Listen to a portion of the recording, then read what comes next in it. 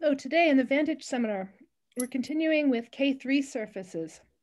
And today we're very happy to have Bianca Viray speaking on the Brauer group and the Brauer-Manin obstruction on K3 surfaces. And uh, Bianca, is it all right if we video this talk? Yes. And go ahead, thank you. Okay, thank you very much uh, for the introduction and thank you for having me. And thank you to everybody in the audience for attending. Um, it's, I really like this seminar. I feel like there's so many friendly uh, people that I see in the audience and I'm happy to see even some people's video on. if other people are willing to share, I would love to see even more of your faces. Um, so today I'm going to talk about the Brauer group and the Brauer-Manin obstruction on K3 surfaces. Just before starting, I'd like to um, acknowledge that I currently live and work, well, even when I'm not working from home, I also work on the traditional territories of the Duwamish and the Coast Salish people. And if you're interested in finding out um, what traditional territories you live and work on, you can go to this website, nativeland.ca, and it will show you. Okay, another um, public service announcement. Uh, so it's the month of February. So in the US, that's Black History Month. Um, and Mathematically Gifted and Black does this um, amazing series of profiles every day of the month. Today's is Nicole Michelle Joseph. Um, so if you haven't heard of this website, you should go and check it out. There's a lot of great things to see. Okay, let's dive into K3 surfaces. So this whole series, the current series in Vantage, is looking at conjectures on K3 surfaces. So what does it mean for us to study K3 surfaces? Well, at the very least, we should know the definition. So we saw this before in Edgar's talk and Alessandra's talk that an algebra, so I'm only going to talk about algebraic K3 surfaces, but an algebraic K3 surface is a smooth, proper surface with trivial irregularity and trivial canonical bundle. So with these certain properties. Okay, so that's uh, some nice words. What's the next thing we maybe would wanna do is probably you wanna see some examples. So what are some possible um, K3 surfaces? So you can check that um, any quartic hypersurface in P3 is a K3 so for instance, uh, this uh, Fermat looking one. We can take a Kummer surface as well. So this showed up um, in uh, at least the first talk. So you take an abelian surface, you quotient by the plus minus one map. So you have this double cover, but that's singular. So we desingularize. That's what I mean by this tilde, desingularize. And then that is an example of a K3 surface maybe another one you can take is a degree, degree two K3, so sort of the smallest degree you can possibly get. And this is a double cover of P2 ramified along a sextic. Okay, so we have a definition, we have some examples, but if this is the first time you have seen K3 surfaces, probably this isn't making you feel like you really know them like what does it mean to know a K3 surface? So if you were hanging out with one or introducing, if two of them were meeting, like what would they say to each other? What would they tell each other about themselves? Like what other things do they want to know about each other? Okay, so that's what I want to explore.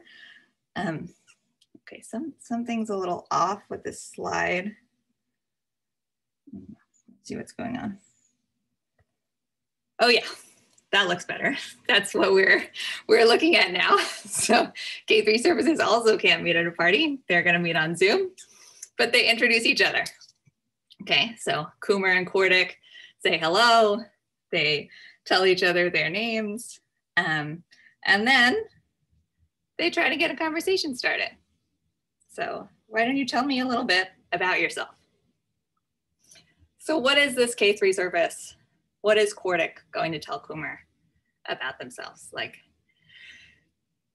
if we wanted to be BFFs with K3 surfaces, which I don't know about you, but I think we all want to be, like what would we know about them? What should we say?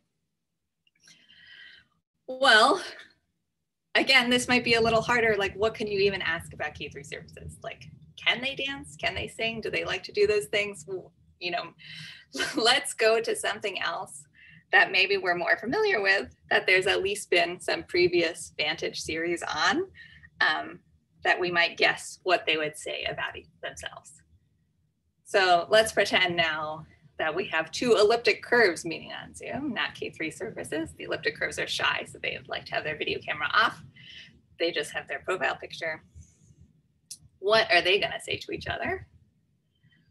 Well, this one is a little bit easier because elliptic curves, before they were even meeting, say they're going on a blind date, before they're even meeting, they're going to look each other up on elliptic curve Facebook. So who can tell me what elliptic curve Facebook is?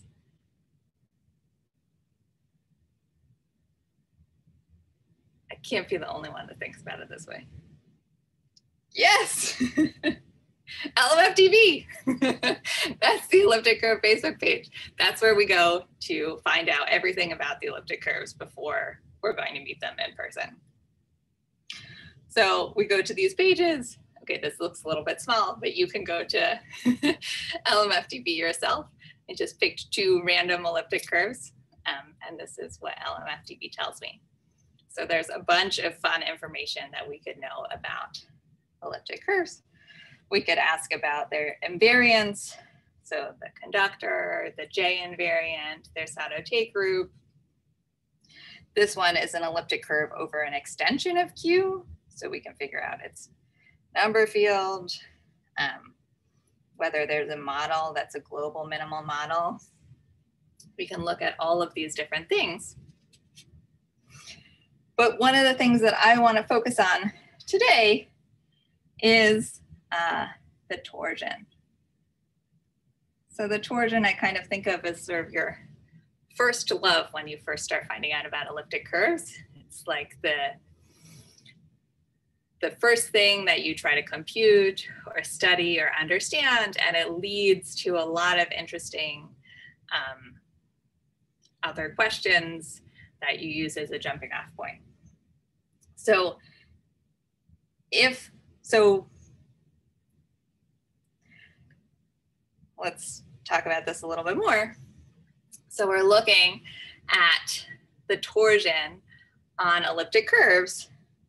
And I would argue, and I think you'll agree, that this is a fundamental attribute of an elliptic curve, particularly over a number field. I mean, there we have the Mordell-Weil theorem. Oh, great. Yes, I love it. I was thinking maybe that the friends were the isogeny, other curves in the isogeny classes, but it, I like this even broader definition of friends for elliptic curves.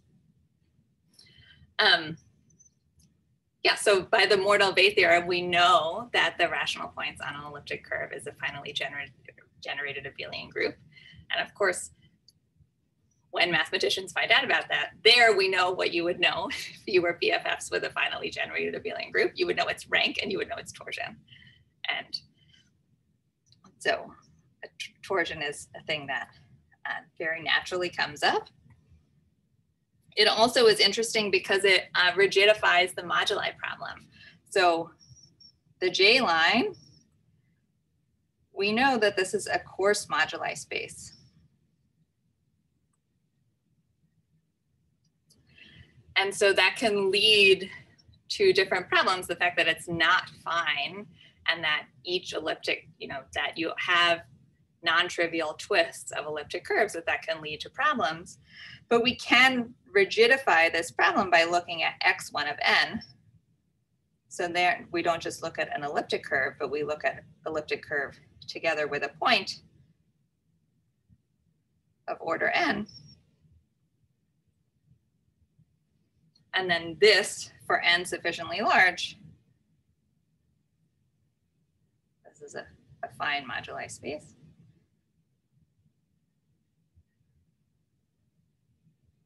And studying these modular curves and the tower of modular curves is, again, fundamental in understanding the arithmetic of elliptic curves.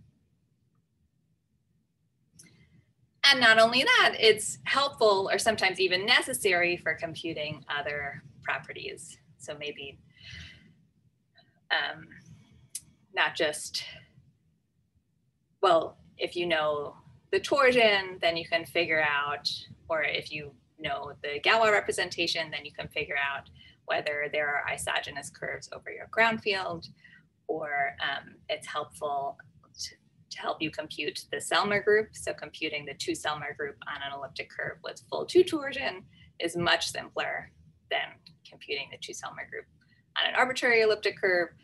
And so it's interesting in its own right, and it also helps us understand further arithmetic. Okay, so this is something that we could want to know about if we met an elliptic curve on the street. How does this help us if we go back to our original question of what do we want to know about K3 surfaces? So torsion on an elliptic curve is a great object for all of these different reasons. And you could ask, because we've seen that K3 surfaces are a higher dimensional, one possible higher dimensional generalization of elliptic curves, you could ask, okay, what should the analogous thing be? What should I want to know about a K3 surfaces? K3 surface that would play a similar role to the torsion on an elliptic curve. And you immediately run into a huge problem, which is that the K3 surface, it's not a group, it's just a variety. And even saying torsion, even defining the object, I'm using that the elliptic curve has a group structure. So it's not completely obvious what we should do uh, or what we should think of as an analog of the torsion on elliptic curve. Okay, so let's let's think outside of the box a little bit. Well, if you remember to when you first learned about elliptic curves, and then you saw that they have this group law where you uh, connect two points with a line and then you reflect it across the x-axis, assuming you have a nice model.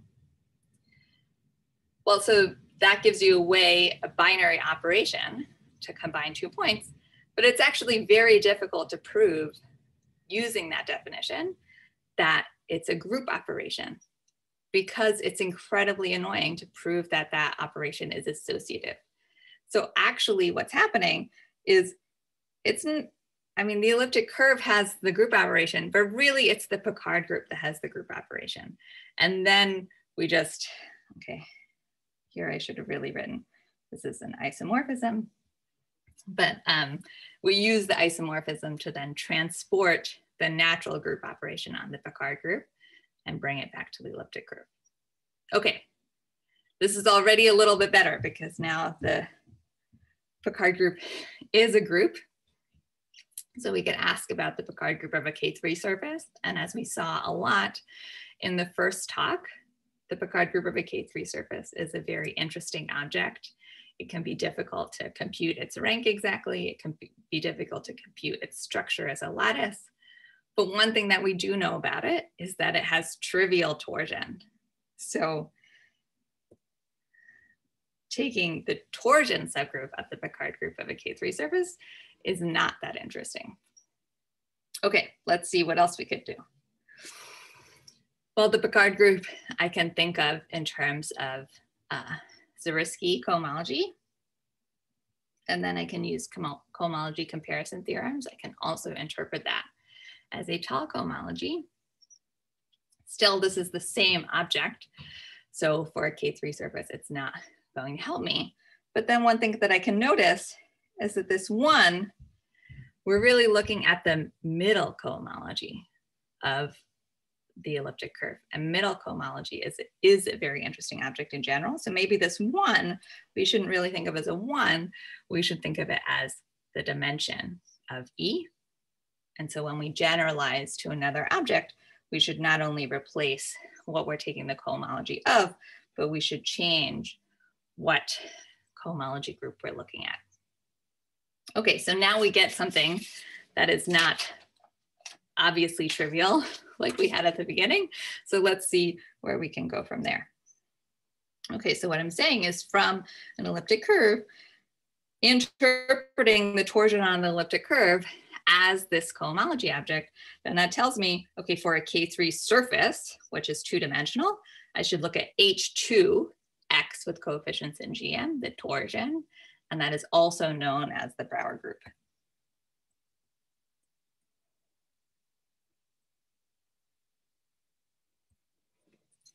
Okay, for most of the talk, really probably all the talk, it's completely fine to just think of the Brauer group as a generalization of the torsion on the elliptic curve. That's really how I want you to think of it. And that's sort of what I will try to drill home over and over again.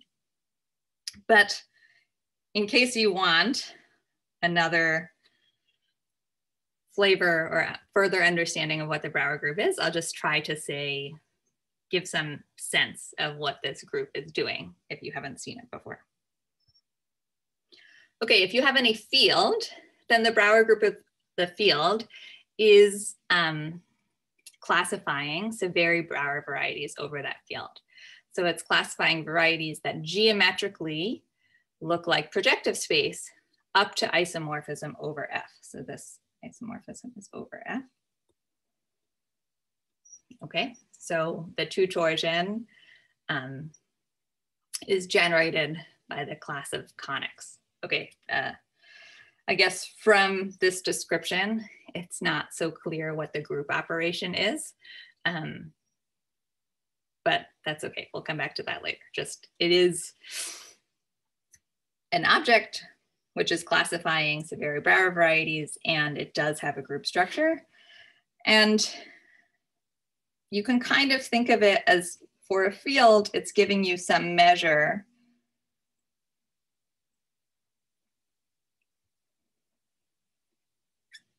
of how prevalent norm elements are.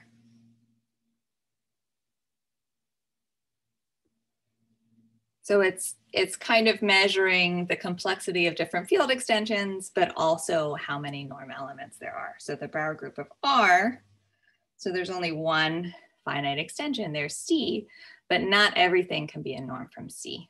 We have to have it, the element has to be positive to be a norm from C. So that's like a very meta suggestion of why it should be Z mod 2, not even close to a proof. On the other hand, if you look at the Brauer group of a finite field, finite fields have infinitely many extensions, so one for every positive integer, but still everything is a norm. If you take any one of those extensions, any element can be obtained as a norm. So even though there are lots of extensions, because things like to be norms, there's no Brauer, there's no interesting Brauer group there. Okay, so it's, it's measuring something about the complexity of the field, but it's a little bit hard to state. It's not, not uh, well, okay. I mean, I did state it, so maybe not hard to state, but hard to get a,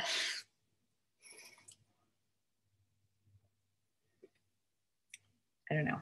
It's, it's an aloof object. It takes a long time to become friends with the Brauer group. Okay, so how can we think about the Brauer group of a variety? Well, we can look inside the Brauer group of the function field.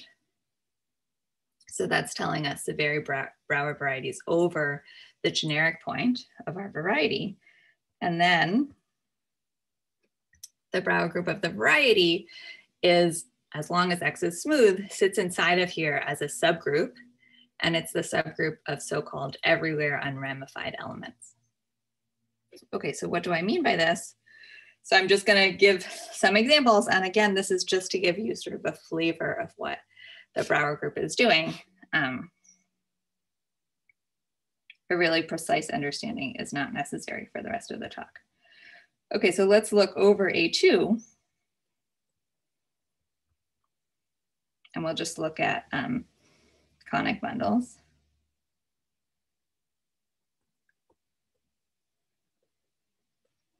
So if I have a conic over the generic point of A2, so that I can write,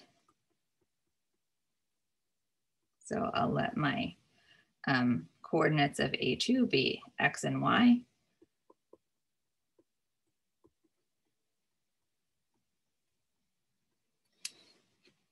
Okay, so this is what a conic looks like. And so we can assume that F, G, and H are polynomials. And since we only care about this thing up to isomorphism over the generic fiber, I can absorb any square factors. So I can also assume that it's square free. Okay, but now you see that if f, g, and h are non-constant, or maybe even their product, it's non-constant, square free, and relatively prime. Pairwise relative. Okay. If their product is non-constant, then when you look over that that divisor or some curve that vanishes on FG and H, this conic bundle, this smooth conic is going to degenerate to lines. So it will no longer look like something that's geometrically isomorphic to projective space. And so this, okay, let me call this, I don't know, CFGH.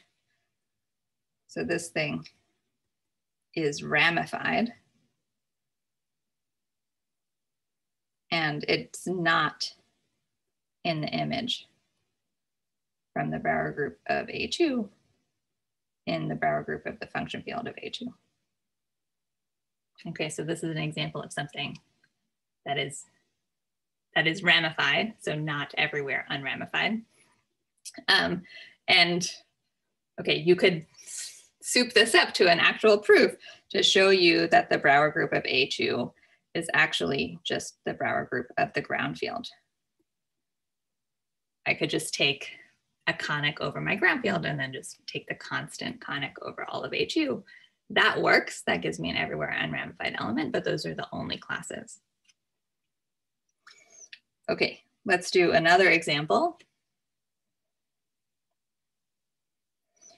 Okay, so I'm going to look at this open subset of a Chatelet surface. That's not so important what it's called, but just this thing. This one, the Brauer group, is bigger than just the Brauer group of the ground field. And what can we do? Well, I can take the conic given by u squared plus v squared equals 3 minus x squared times w squared. This conic degenerates over 3 minus x squared. So it looks like I have the same problem before. But because of this equation, because this is a norm-like equation, over the generic fiber, this tells me that this is actually isomorphic. Maybe let's call it tilde.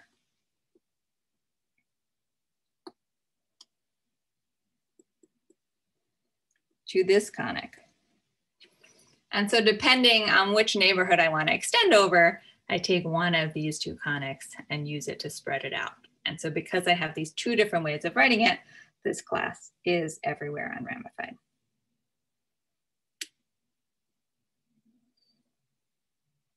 Okay, what I want you to take from this example is that the Brauer group is encoding some kind of geometric complexity, but it's not the same kind of complexity that maybe we're used to seeing. It's not telling us about sort of like fundamental group or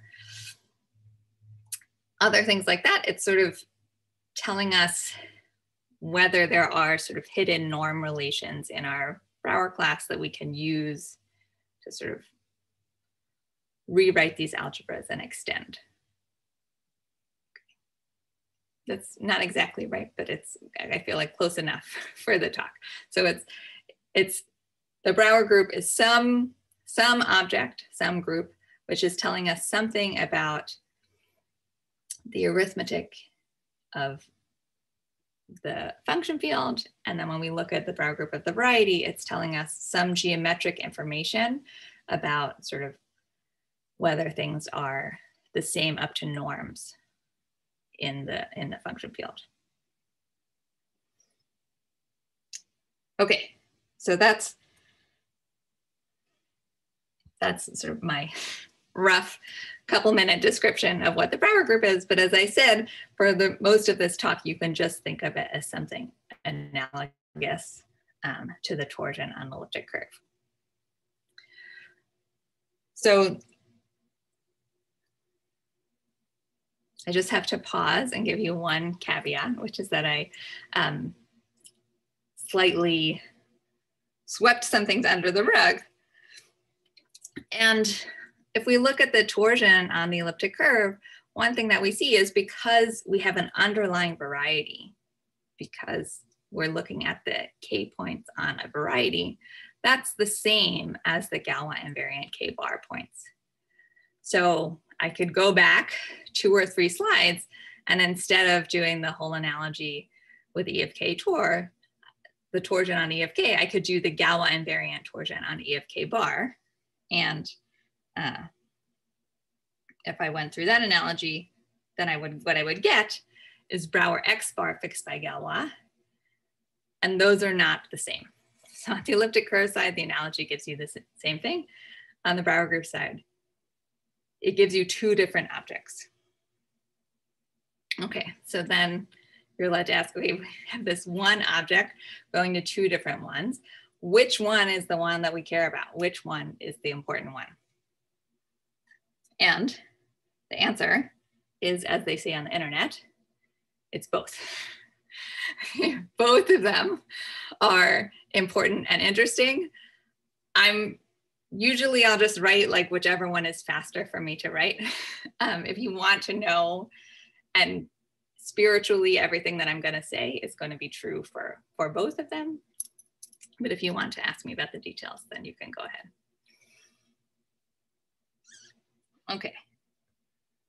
Okay, so now we have this one object on the elliptic curve side going to these Brauer objects um, on the K3 surface side, and we can ask how reasonable is this analogy? So let's go back to what I said was great about torsion on elliptic curve and see if we can instead ask about it for a K3 surface. Well, um, okay, so I'm just going to tell you, this is also a fundamental attribute of a. Uh, I guess I don't need the X, of a K3 surface actually of any smooth projective surface. The Brauer group is a birational invariant of smooth projective surfaces.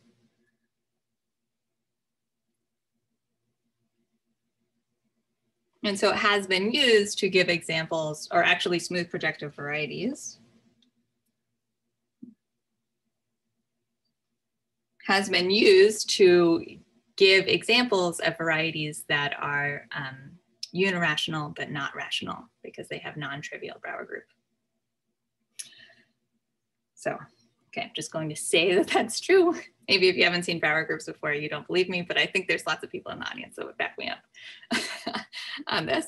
Um, in, so on the elliptic curve side, we saw that torsion can rigidify the moduli problem. well, so I don't know if um, I haven't looked at the details enough to know that it definitely rigidifies the moduli problem, but I feel confident in saying at least that it enriches the moduli problem, that there are moduli spaces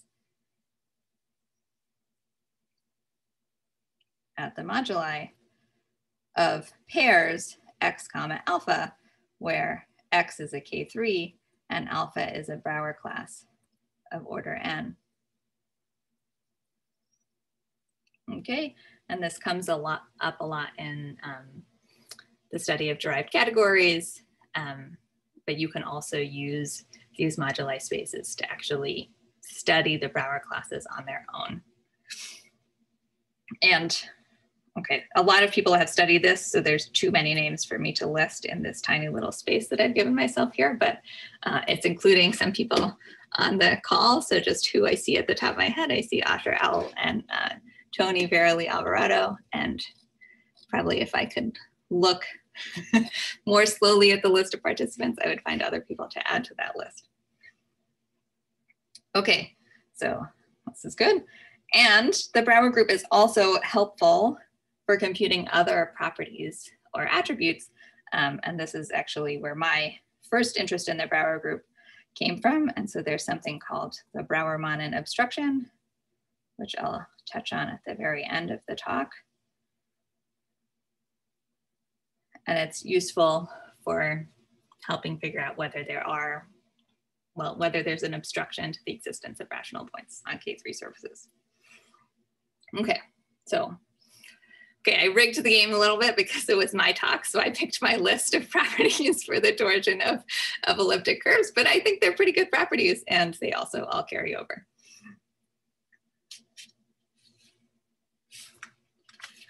Okay, so now I hope I've convinced you this is a reasonable analogy um, in terms of what we can get out of these objects. Now let's look at their structure.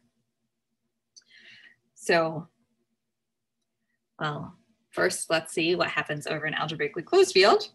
Well, in the torsion, we know, well, over C, I can think of it as C mod lattice, and the torsion I just get as Q mod Z a quantity squared. Oh, I should say throughout, I'm just gonna work with characteristic zero implicitly, so I don't have to avoid saying like what's happening at the P torsion. Um, again, if you want to know, feel free to ask, but uh, I'm, I'm everything I'm stating is for characteristic zero fields. Okay, what happens for the Brauer group of a K3 surface? Well, using singular cohomology, you can see that this is also a power of Q mod Z, but it's no longer always the same power. It depends. Um, it depends. Uh, it depends on the Picard rank. This is the rank of the Picard group of your surface. And I guess because I said I'm working over characteristic zero fields, I should really have a 20 there. Okay, so it's, it's some power of Q mod Z, but you already see that it's a little bit more complicated here already than what happens on the elliptic curve side. Okay, well, Over finite fields, well, what happens? Well, we have a variety over a finite field. So of course there's only finitely many points. That one's very, even if I, even if I don't have the torsion, I get finitely many points. But also when I impose torsion, I get finitely many points. So for K3 surface, it's also true that it's finite, but this is much, much harder. There's no longer a variety lurking in the background. So this is um, uh, basically follows from the Tate conjecture. Uh, well, okay, does follow from the Tate conjecture for K3 surfaces, and this is proved um, due to well, Tate, and then more recently to get everything in full generality, we have Francois Charles, Davesh Maulik, and Keerthi Madapusi Pera.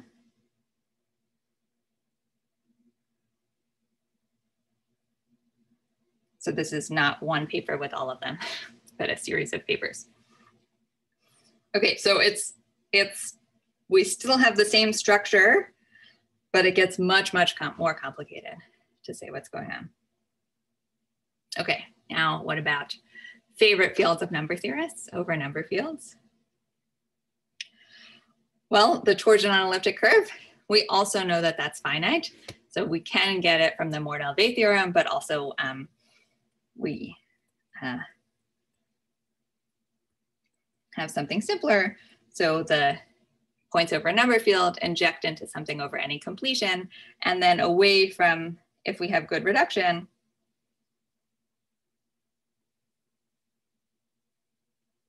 if we look at the torsion that's prime to the characteristic of the residue field, then we get an injection.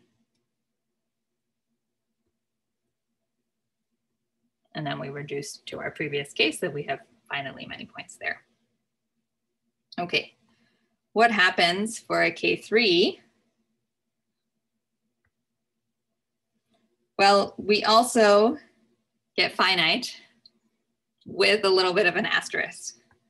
So I just have to say sort of been agnostic about which one of our analogies that we were taking. So I just need to be a little bit more precise about what's happening here. So the Brauer group of X maps to the Brauer X bar fixed by Galois. And then the kernel of this map is called Brauer 1. So by definition, this is just the kernel of, of the map. Okay, and this map has a finite co-kernel by Colliot-Thélène and Skorobogatov in 2013. Oh, sorry. Is he, okay, I don't know whose name it is, but I, yes, I had the wrong, I felt like that looked wrong when I had my notes, but okay, so let me, well, okay, just read the chat and I won't go back a slide so that uh, I want to um, I should have cited Nygaard and Nygaard Ogus in, um, in the previous slide, but then we still need Charles Maulik and Madapusi Pera to get the full generality to include the super singular case. Okay, so okay, so from So the finiteness of Brauer X versus the finiteness of Brauer X bar fixed by Galois is basically the same up to this Brauer 1. So now we have to understand what's happening for Brauer 1. And, um, well, what is inside of the Brauer group, we always have, if you think back to the example, we have some elements from the Brauer group of the function field, uh, group of the ground field living inside of there. So I always have Brauer group of K mapping to Brauer one, and the kernel of this map is finite. So the image of Brauer K to Brauer X, which is called Brauer zero. This is infinite.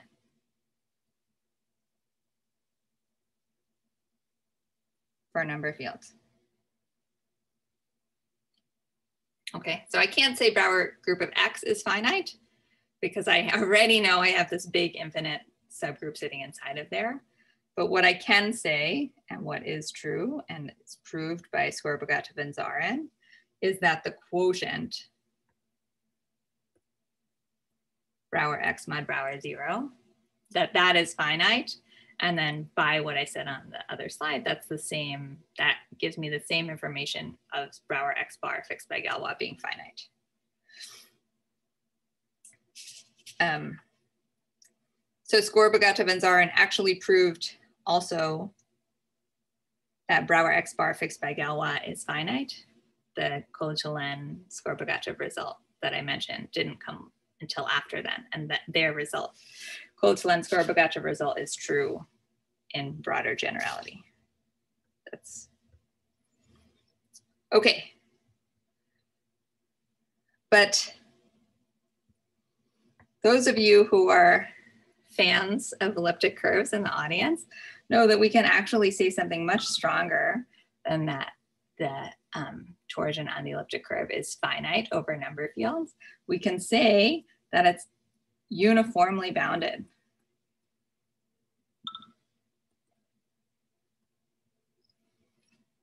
So we have this theorem of Merel, which tells us that the torsion on the elliptic curve is bounded depending only on the degree of the number field. So not just we know that it's finite, we have very strong restrictions on how large it can be.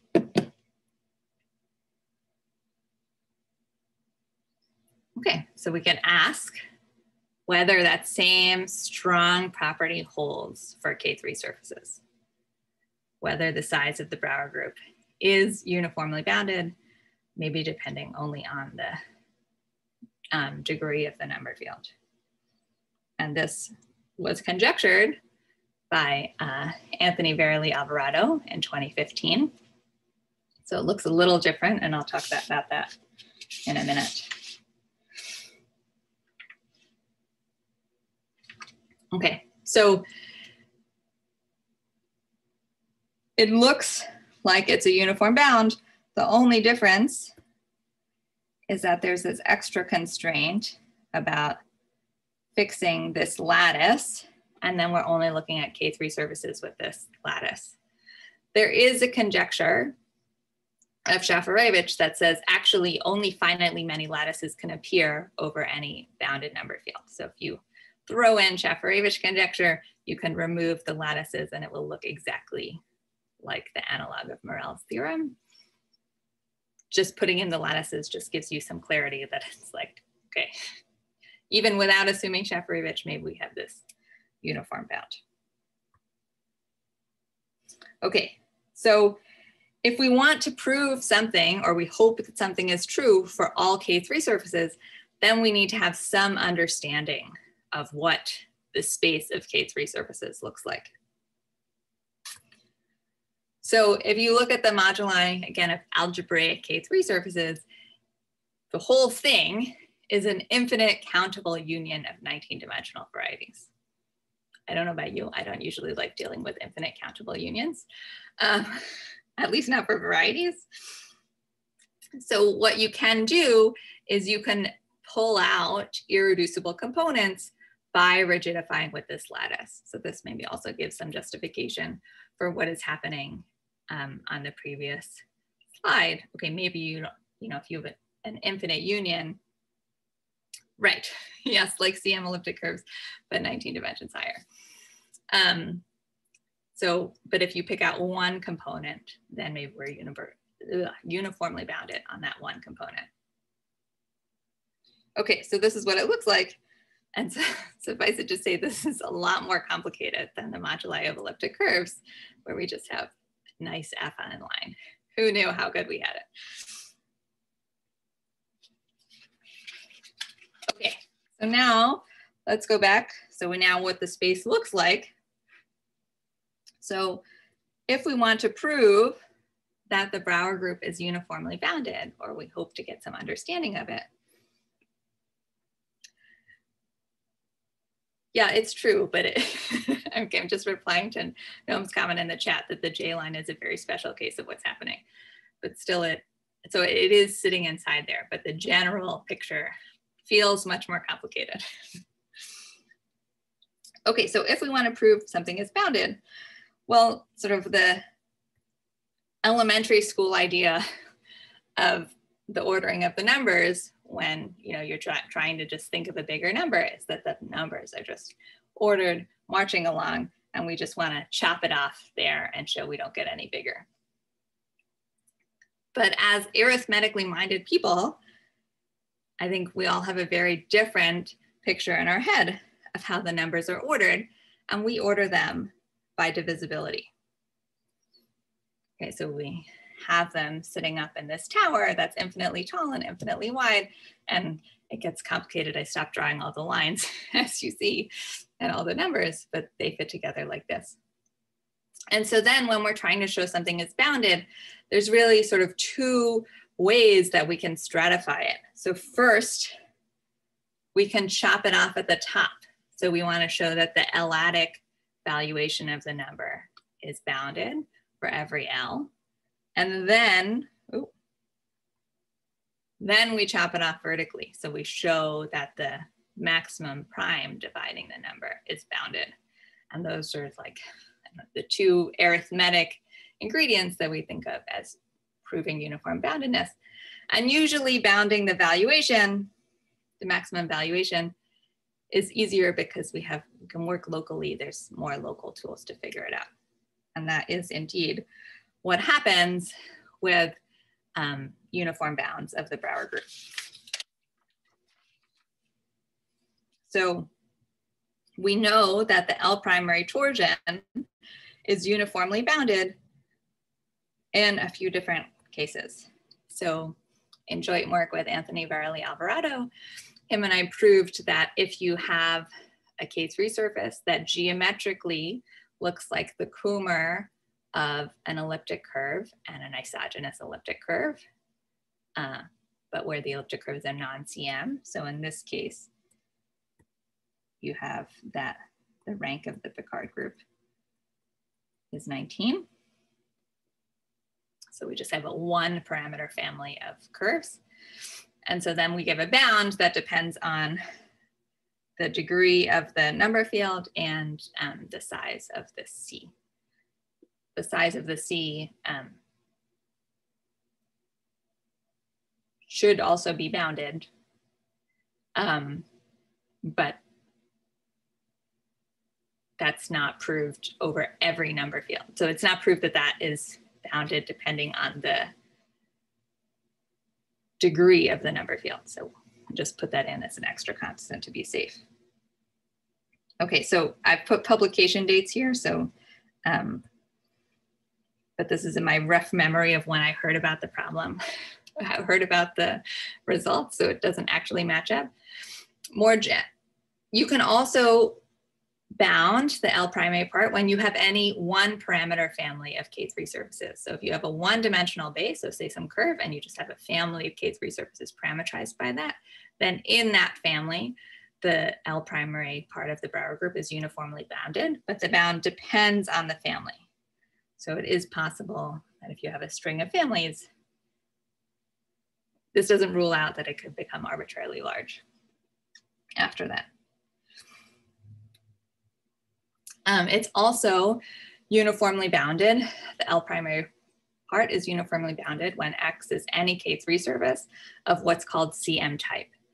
So this includes things that, um, like I have in the first line, but where I remove, where I put E as CM instead of E non-CM, but it's also more general than that. So you can have lower Picard rank um, show up here. This one is very interesting. So actually, this result, they bound the whole Brauer group, not just the L primary part. And the way they do this is they actually first show that there's only finitely many geometric isomorphism types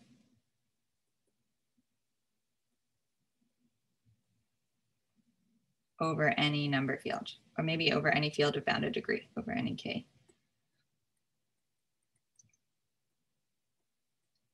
And then what they show is that if two, if you look at all twists of any K3 surface, so if you look at all K3s defined over a number field that are geometrically isomorphic, that their Brauer groups are uniformly bounded depending on the geometric isomorphism type. And then because there's only finitely many, you can just take the max over all of them. Okay, so this, so we have in, this is well, kind of one-dimensional. So it's a one-dimensional geometric family, but then we have twists, which maybe you think of as adding another dimension, but it's an arithmetic dimension. This is definitely one-dimensional family. And this is really zero dimensional geometric families. So we have a number of results when the Brauer group is uniformly bounded, but this is very far from the dimension working across the whole dimension of the moduli space of K3s. There we know we have 19 dimensional families. And right now, all of our results only work in geometric one-dimensional families. So I'm not sure what the right answer should be. So one, one remaining very interesting question is, is the Brauer group uniformly bounded? Forget about across all K3s. Let's just look at a geometric two-dimensional family. of K3 surfaces. Is it uniformly bounded there? And I'm not sure what we should think because yes, we have Merel's theorem, but elliptic curves have one dimensional moduli. So is that evidence that it should always be uniformly bounded or is that evidence that it should be uniformly bounded in a one dimensional family? I don't know. Probably it's just that our techniques are only better in one dimensional families. That's, if you made me guess, that's what I would guess. But it, it is, um, yeah, still wide open. Okay, and the last like few minutes of the talk, I'd like to switch a little bit and talk about how we can use the Brauer group for arithmetic applications.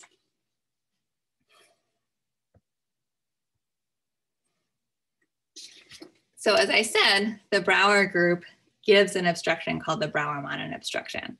And Skorobogatov conjectured in 2009 that this Brauer-Manin obstruction, so this object is called the Brauer-Manin set, Brauer-Manin,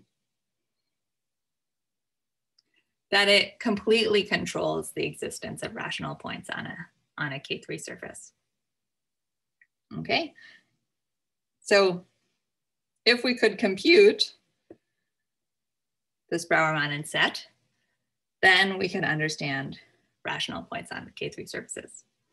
And Kresch and Schinkel proved in 2011, this is more general than just K3 surfaces. Uh, it's surfaces with particular properties that K3 surfaces satisfy. It says that this Brauer-Manin set is effectively computable if you have a bound on Brauer mod Brauer zero.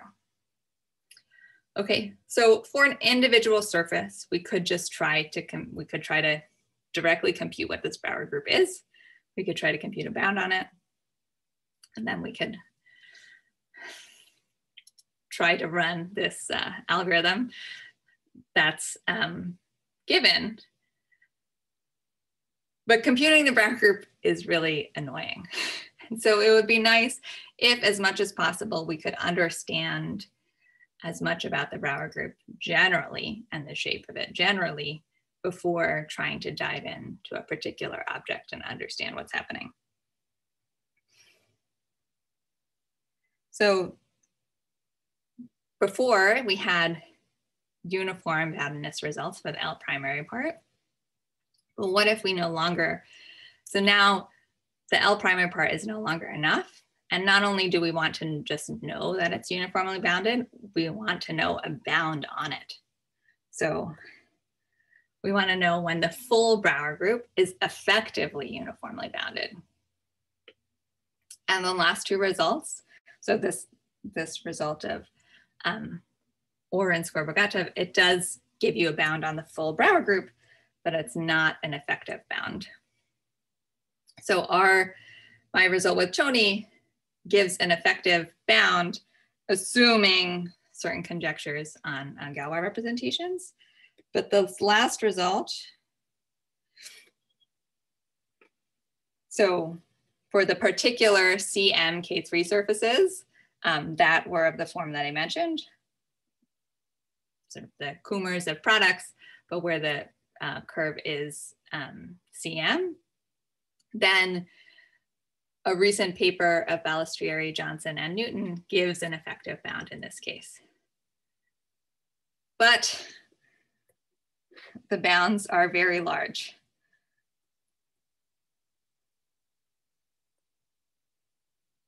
So assuming GRH, uh, Balestrieri, Johnson, and Newton get an improvement on their bound that we don't, Tony and I don't have in our paper, so maybe that's good enough to be in reach.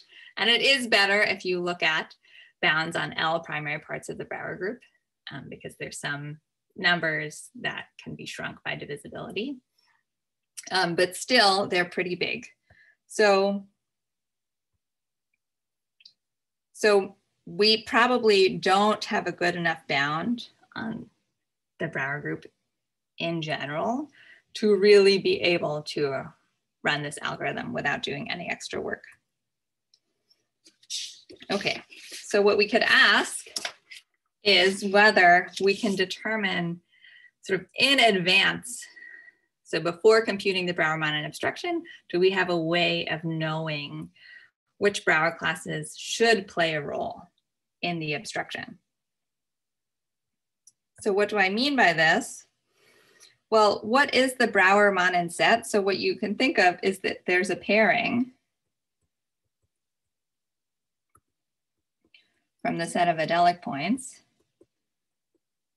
with the Brauer group of X to Q mod Z. And the K rational points under this pairing all go to zero. So you think of each element of the Brauer group of X as cutting out some subset. Sort of, you can think of, you want the adelic points orthogonal to this Brauer class. Um, and the elements in Brauer zero, they also go to zero. They give no condition on the obstruction. So it's really elements of Brauer X mod Brauer zero. And we want to, if, if you have an obstruction, then because of um, topological properties of this pairing, there exists a finite subset that accounts for it. So you can ask whether we can understand, like, are there some conditions that the Brauer classes have to satisfy in order to possibly obstruct? And I think maybe the first suggestion that something like this might be possible was a result of Ieronymou and Skorobogatov in 2015, where they observed that if you have any diagonal quartic, the odd, the elements of odd order in the Brauer group never obstruct any rational points. Okay, and there's a lot of twos that show up for K3 surfaces. So then you're like, oh, maybe, maybe this is true more generally. Okay, I'm running short on time, so I'll just yeah, phrase this question.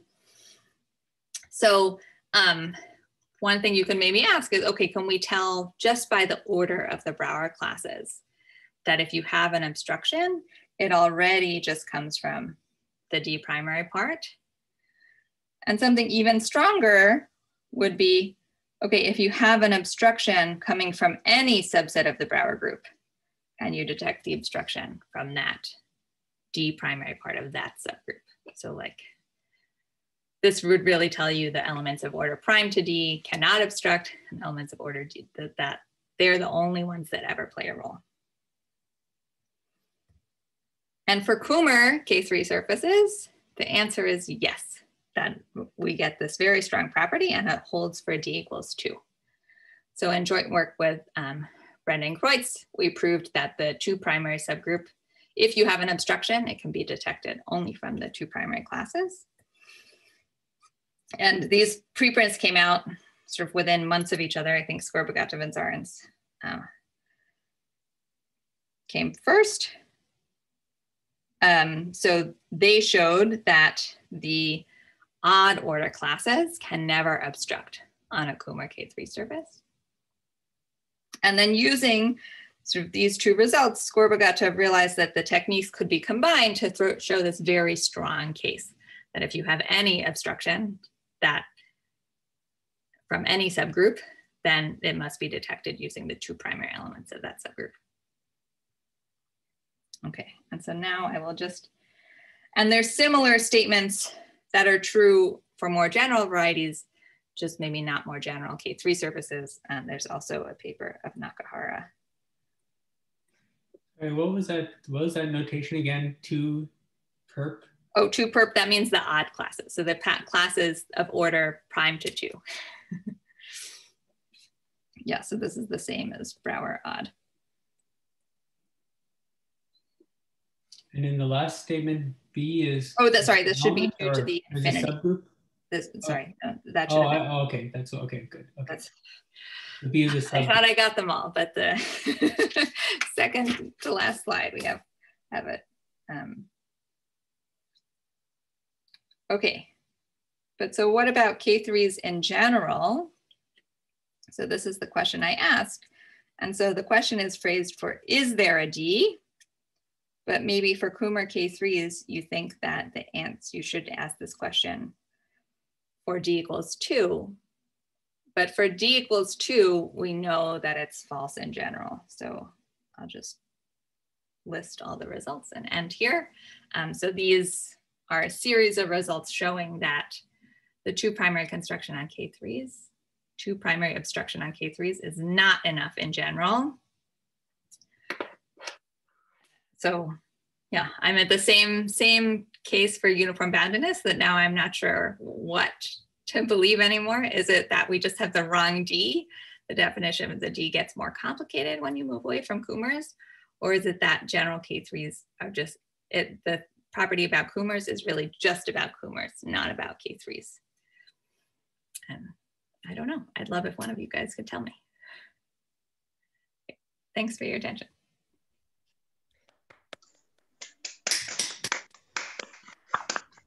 Thank you so much, Bianca. Well, this would be a great time for questions.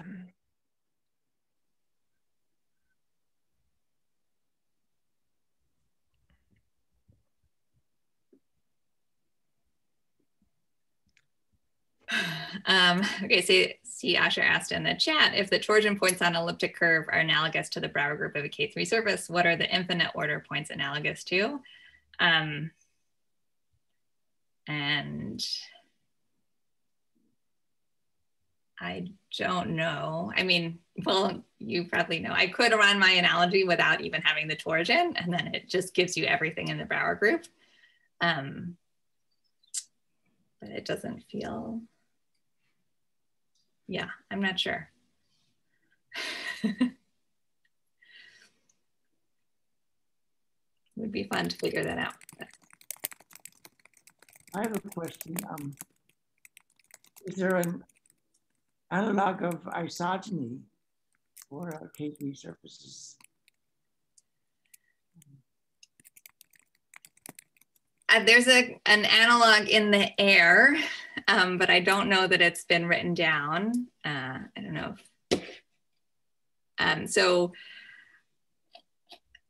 I think the suggestion is that K3 surfaces should be isogenous if there is um, a maybe surjective map between their lattices with finite kernel. Mm. It's, it should be coming from a morphism of the lattices or maybe an inclusion of the lattices. Forget which way we want it to go. I mean, isogeny of elliptic curves, of course, we have it both ways because we have the dual isogeny. Um, so maybe either direction is, is okay, but it's less so that's maybe um, if I talked more about the singular cohomology perspective of the Brauer group, you really see the lattice coming into play and quotients of the lattice. They help give you these moduli spaces, these marked moduli spaces of K3 comma Brauer class. Um, but I, it's definitely not as uh, fully developed as a theory as it is for elliptic curves.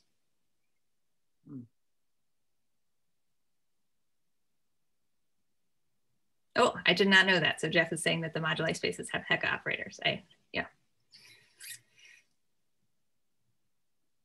Also, there's one question from Noam Elkies in the chat. Yeah, okay, so that is one one thing that I wondered. So whether for the Brauer group you need to, so for Kummers, I mean, the lattice of a Kummer can be more complicated, but they are characterized by this Kummer lattice, which has discriminant two to the 16th. So that's like a lot of twos showing up there. And maybe that's what's leading to the two primary part. Um,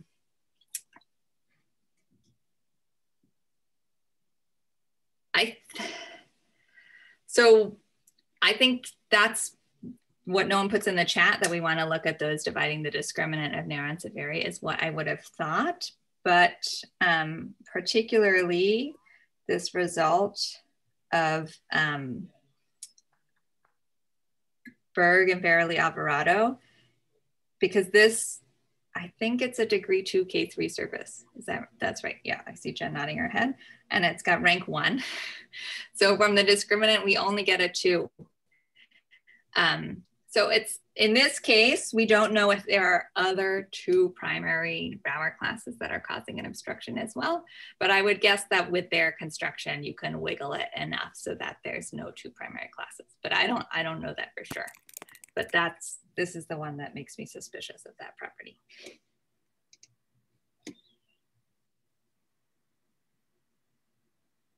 Wonderful. All right, well, let's um, thank Bianca again.